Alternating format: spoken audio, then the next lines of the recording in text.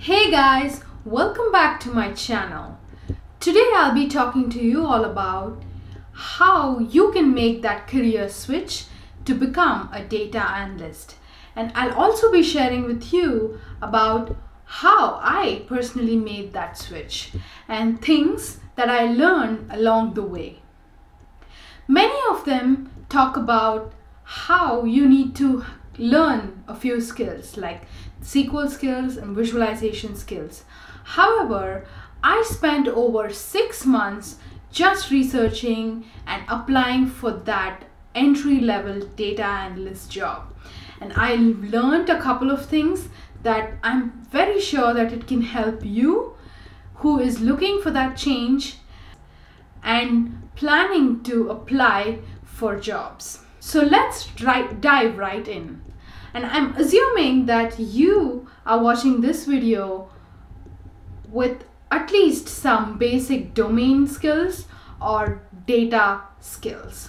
So to give you all a bit background about why I'm talking to you all about this is I had an MBA in supply chain and I spent about four months just researching on how I can make my, my switch to data analytics and also did a master's in data analytics. But frankly, I wouldn't recommend you to spend time doing a master's degree. Instead, focus on self teaching yourself. For the convenience of this video, I have broken down two types of viewers.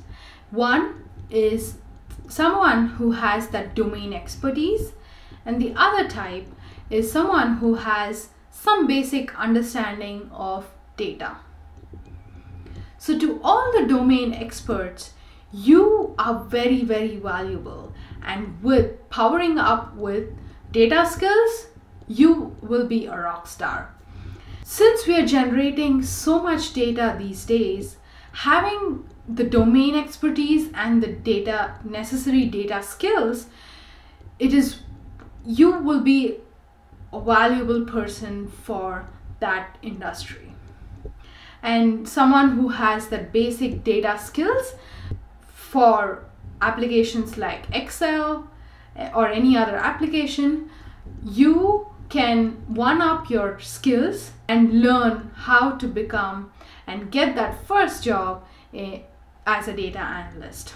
So the three most important basic skills needed for anyone who's switching their career is problem solving skills.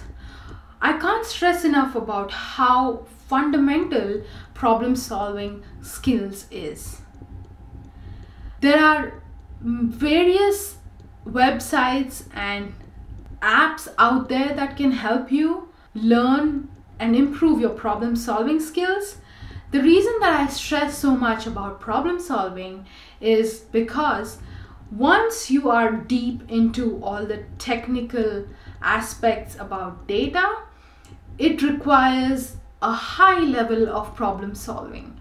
So, if you are one of those who are not very sure or very finicky about if this is the right choice for you, I would definitely recommend you to either you know download an app called Luminosity and see if you can solve some of those problems and also just Google search uh, problem solving tests and then which can help you take that problem solving test to see if you're a good fit for a technical job. I will also leave the link of Luminosity in the description below.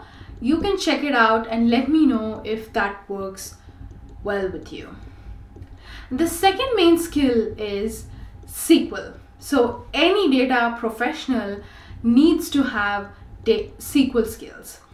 And I cannot stress enough about SQL skills. There are various courses in Udemy, and even there are really good YouTubers who teach SQL. And once you have good foundations in SQL, it's easier for you to step into uh, any other language. And the third skill is the visualization skills. This is another important skill that you would need to master at. So you can start off with visualizations in Excel. Create visualization dashboards in Excel. That's the best way to start off with the existing applications that you have. If not, you can also try Power BI and Tableau. Tableau Community is a free application where you can just download and give it a try and there's this whole Tableau community who can help you if you're stuck and you can also just Google search for solutions. And Power BI is another important tool. I have worked on Power BI for about three years now and Power BI is an amazing tool but it you you would have to pay for it whereas Tableau is a free application. Now once you have all your foundations strong enough visualization skills SQL skills and problem solving skills you will be good to start applying for that job. So these tips are something that I learned on my own.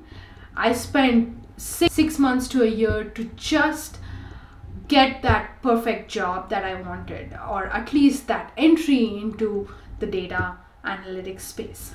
So, the first and the foremost tip that I wish someone would have told me is building that right portfolio. I cannot stress enough about how important it is, especially if you're in the United States, to have that portfolio. It could be either on GitHub or LinkedIn or any other any other uh, portfolio or your just your own website. So it's very important to have that handy at all times. Once you are good with your skills, start focusing on building your portfolio. It could be just creating side projects, especially from data from Kaggle.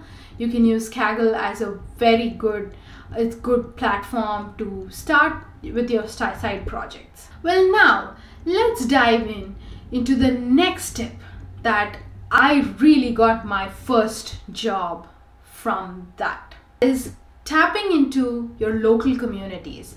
If you are in the United States watching this video, you must try to tap into the local communities. By that I mean there are various startups, especially if you're living in bigger cities, there are these startups who reach out to these local communities when they are looking for jobs. And sometimes they wouldn't have that capital to put up an, an job on online. So tapping into the communities like especially women who are looking for a job, you can tap into like Center for Women or just your local communities or a startup hub, you can start applying there and see if they are looking for a job. And then the third and the most important tip is having three types of resume. The first is a general resume. The second and the third would be your ideal or your focus or your domain specific resume, right? Say, for example, I always wanted to get into finance or healthcare. So I had two types of resumes just for finance and for healthcare. So anyone whom I come across in these two areas, I would definitely send out my resume to them. So be domain specific, build a portfolio, and tap into your local communities. These are the three golden tips that I can give you and hopefully this video helped you in any shape or form. If you have any questions about how you want to build a resume or make more videos like this, do let me know in the comments below and I will surely get back to you. And I know how it is to be in that position where you have to switch careers and I so I'm ready to help each and every one of you. So do let me know if you like this video and please do subscribe and share this video for anyone who is really looking to to switch their job into becoming a data analyst. Thank you for watching this video. See you in my next one. Bye.